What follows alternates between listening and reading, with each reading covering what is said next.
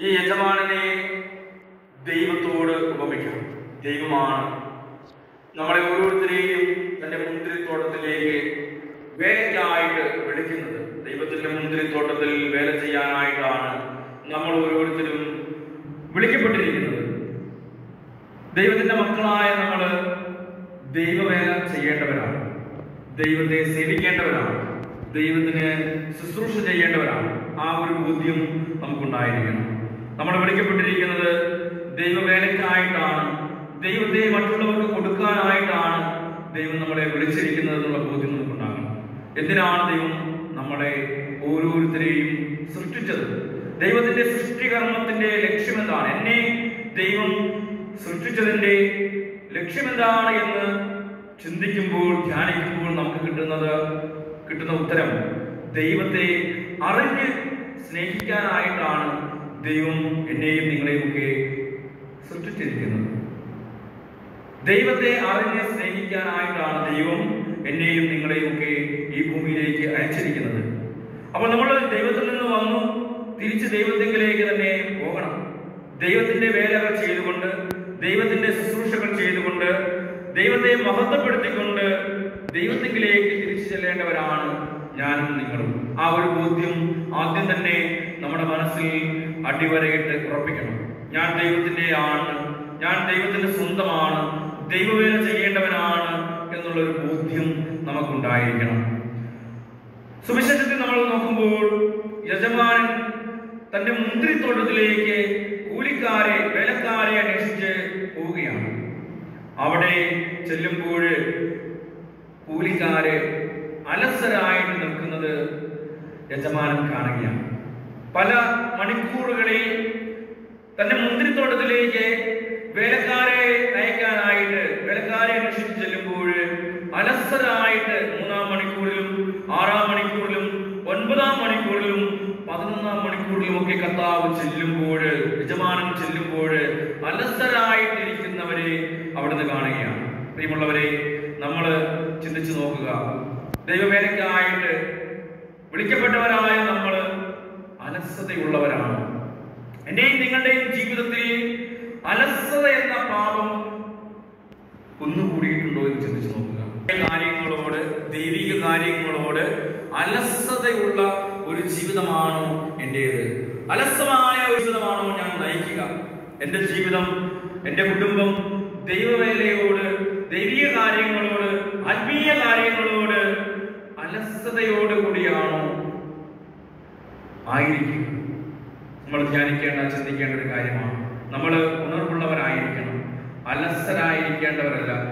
തീഷ്ണതയിൽ മാന്യം കൂടാതെ ആത്മാവിൽ നിറഞ്ഞ് കർത്താവിനെ ശുശ്രൂഷിക്കേണ്ടവരാണ് നമ്മൾ ഓരോരുത്തരും. ദൈവം നമ്മളോട് ഓരോരുത്തരോടും ചോദിക്കുന്നു നമ്മുടെ കുടുംബ ബന്ധങ്ങളിൽ അലസതയുണ്ടോ?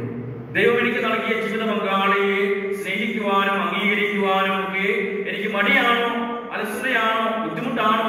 എനിക്ക് നൽകിയ മക്കളെ സ്നേഹിക്കുവാനായിട്ട് അവരുടെ ആത്മീയ കാര്യങ്ങളും ഭൗതിക കാര്യങ്ങളും ഒക്കെ നിറവേറ്റി കൊടുക്കുവാനായിട്ട് എനിക്ക് മടിയുണ്ടോ? എനിക്ക് അലസതയുണ്ടോ എന്ന് നമ്മൾ ചിന്തിച്ചു നോക്കണം. എന്റെ സമൂഹം എന്ന നിലയിൽ സമൂഹത്തോട് സഭയോടൊക്കെ ചെയ്യേണ്ടതായ ഉത്തരവാദിത്തങ്ങളും കടമകളും ഒക്കെ നിറവേറ്റുവാനായിട്ട് എന്റെ ജോലിയോടൊക്കെ എനിക്ക് തീഷ്ണതയുണ്ടോ? അതോ അലസ മനോഭാവമാണോ എന്നിട്ടുള്ളത് നമ്മുടെ ഈ ധ്യാനത്തിലൂടെ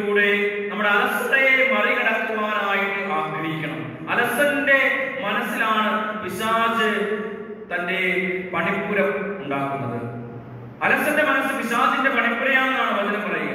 അലസനായിട്ടിരിക്കാനല്ല ഉണർവുള്ളവനായിട്ടിരിക്കാനാണ് ജാഗ്രതയുള്ളവരായിട്ടിരിക്കാനാണ് കർത്താവ് നമ്മോട് ആവശ്യപ്പെടുന്നത്. അധ്വാനിക്കുന്ന മക്കളായിട്ട് നമ്മൾ മാറണം. പലപ്പോഴും നമ്മളൊക്കെ അധ്വാനിക്കാനായിട്ട് ആഗ്രഹമുണ്ട് എങ്കിലും പലതരത്തിലുള്ള ശാരീരികമായ രോഗങ്ങൾ വരുമ്പോൾ മറ്റു ബുദ്ധിമുട്ടുകൾ വരുമ്പോൾ നമുക്ക് ആ, ഭൗതികമായിട്ടും ആത്മീയമായിട്ടും നമുക്ക് അലസത കടന്നു വരാറുണ്ട്. അലസനെ ദൈവം ഒരിക്കലും പരിഗണിക്കുന്നില്ല എന്ന് നമ്മൾ മനസ്സിലാക്കണം. പ്രിയമുള്ളവരെ നമ്മൾ ഓരോരുത്തരും നമ്മുടെ ജീവിതത്തിൽ ഉത്തരവാദിത്തമുള്ളവരായി നമ്മൾ മാറണം. ധ്യാനത്തിലൂടെ നമ്മുടെ അലസതയെല്ലാം മറികടന്നുകൊണ്ട് നമ്മുടെ ഉണർവോടുകൂടി നമ്മുടെ കുടുംബത്തിലും നമ്മുടെ സമൂഹത്തിലും സഭയിലും ഒക്കെ കർത്താവിന് വേല ചെയ്യുവാൻ ചെയ്യുവാനായിട്ടുള്ള ആ വിളിയിൽ ഉറച്ചു നിൽക്കുവാനായിട്ട് തീഷ്ണതയുള്ളവരാകുവാനായിട്ട് നമ്മൾ പരിശ്രമിക്കണം. രണ്ടാമതായിട്ട് ഈ മുന്തിരിത്തോട്ടത്തിലെ കൃഷിക്കാരുടെ ഉപമ വഴിയായിട്ട് കർത്താവ് നമ്മോട് പറയുന്നത് അവർക്ക് ഒരു ധനാറ വീതമാണ് വേതനം നൽകാമെന്ന കരാറ് യജമാനൻ വെക്കുന്നത്. ഒരു ധനാറ വീതം നൽകാം. നീ ചെയ്യുന്ന കൂലിക്ക് പ്രതിഫലമായിട്ട് ഒരു ധനാറ തരാമെന്നാണ് യജമാനൻ അവരോട് പറയുക. പക്ഷേ ആദ്യം വന്നവർക്ക് ഒരു ധനാറ കൊടുക്കാമെന്ന് പറഞ്ഞിരുന്നുവെങ്കിലും അവസാനം വന്നവർക്കും ഒരു ധനാര കൊടുക്കാനാണ് യജമാനൻ ആഗ്രഹിച്ചത്. യജമാനൻ അവരുടെ കാര്യസ്ഥനോട് കൂലി കൊടുക്കാനായിട്ട് ജോലിക്കാർക്ക് കൂലി കൊടുക്കാനായിട്ട് പറയുമ്പോൾ അവസാനം വന്നവരെയാണ് ആദ്യം പരിഗണിക്കുന്നത്. അവസാനം വന്നവർക്ക് ഒരു മണിക്കൂർ ജോലി ചെയ്തുള്ളൂ അവർക്ക് ഒരു ധനാര കൊടുത്തു. ഒരു ധനാറ കിട്ടിക്കഴിഞ്ഞപ്പോൾ ബാക്കിയുള്ളവർ വിചാരിച്ചു ആദ്യം വന്നവർ വിചാരിച്ചു എന്താ ഞങ്ങൾക്ക് കൂടുതൽ കിട്ടും? ഞങ്ങൾ കൂടുതൽ സമയം അധ്വാനിച്ചതല്ലേ? ദിവസത്തിൽ ഈ പകൽ മുഴുവൻ ചൂട് സഹിച്ച് കഠിനാധ്വാനം ചെയ്തവരല്ലേ? ഞങ്ങൾക്ക് കൂടുതൽ കിട്ടും. കാരണം ഒരു മണിക്കൂർ ജോലി ചെയ്തവർക്ക് ഒരു ദിനാറ് കിട്ടി. ഞങ്ങൾക്ക് അതുകൊണ്ട് കൂടുതൽ കിട്ടും. പക്ഷേ യജമാനൻ പറഞ്ഞതാണ് നിങ്ങൾക്ക് ഒരു ദിനാറ് നൽകാനാണ് ഞാൻ ആഗ്രഹിക്കുന്നത്. അപ്പോൾ അവർ എന്ത് ചെയ്തു? അവർ തർക്കിക്കുകയാണ്. അവർ തർക്കിക്കുകയാണ്. കൂലിക്ക് വേണ്ടി തർക്കിക്കുന്നു. അതോടൊപ്പം തന്നെ താരതമ്യം ചെയ്യുകയാണ്. മറ്റുള്ളവരുമായിട്ട് തങ്ങളെ തന്നെ താരതമ്യം ചെയ്യുകയാണ്. അവർ ഒരു മണിക്കൂർ ചെയ്തു. ഞങ്ങളും ദിവസം മുഴുവൻ അധ്വാനിച്ചു എന്നൊക്കെ പറഞ്ഞുകൊണ്ട് വാദ പ്രതിവാദങ്ങളിൽ ഏർപ്പെടുകയാണ്. പ്രിയമുള്ളവരെ ദൈവത്തിന്റെ നീതി എന്ന് പറയുന്നത് അത് യഥാർത്ഥ നീതിയാണ്. ഒരുവന് അർഹതപ്പെട്ടത് നൽകുക എന്നതാണ് ദൈവത്തിന്റെ നീതി. ദൈവം ചോദിക്കുന്ന ഒരു ചോദ്യമുണ്ട് യജമാനൻ ചോദിക്കുന്ന ചോദ്യമുണ്ട്. ഞാൻ നല്ലവനായതുകൊണ്ട് നീ എന്തിന് അസൂയപ്പെടുന്നു? എല്ലാവർക്കും തുല്യനീതിയാണ് ദൈവരാജ്യത്തിൽ ഉള്ളത്. ദൈവവേല കൂടുതൽ ചെയ്തത് കൊണ്ട് കൂടുതൽ കൃപകളും അനുഗ്രഹങ്ങളും ഒക്കെ നമുക്ക് ലഭിക്കുമെന്ന് ദൈവരാജ്യം ലഭിക്കുമെന്ന് നമ്മൾ ആരും വിചാരിക്കരുത്. പ്രിയമുള്ളവരെ പുരുഷന്റെ ചുവട്ടിലേക്ക് നോക്കുമ്പോൾ നമുക്ക് കാണാൻ സാധിക്കും. നല്ല കള്ളൻ അവൻ അവസാന നിമിഷത്തിലാണ് അനുദപിക്കുന്നത് മാനസാന്തരപ്പെടുന്നത്. അവനെയും സ്വർഗത്തിലേക്ക് കൊണ്ടുപോകുവാനായിട്ട് ദൈവരാജ്യത്തിൽ കർത്താവിന്റെ പരദീസായി ആയിരിക്കുവാനായിട്ട് അവനെയും ക്ഷണിക്കുന്നവനാണ് നമ്മുടെ ദൈവം.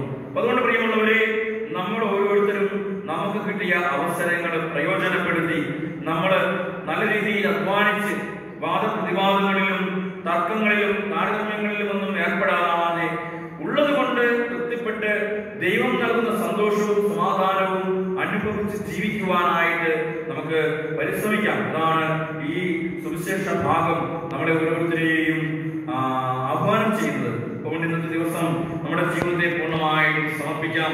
കർത്താവിന്റെ മുന്തിരിത്തോട്ടത്തിൽ വേദിക്കപ്പെട്ടവരാണ് നമ്മൾ എന്നുള്ള ബോധ്യത്തോടു കൂടി ആത്മാർത്ഥതയോടുകൂടി സത്യസന്ധതയോടുകൂടി മുറിവുറുപ്പ് കൂടാതെ വാദപ്രതിവാദങ്ങളിൽ ഏർപ്പെടാതെ എളിമയോടെ കർത്താവിന്റെ മുന്തിരിത്തോട്ടത്തിൽ അവിടുത്തെ വേല ചെയ്യുവാനുള്ള കൃപയും അനുഗ്രഹവും ലഭിക്കുന്നതിന് വേണ്ടി നമുക്ക് പ്രാർത്ഥിക്കാം. ദൈവം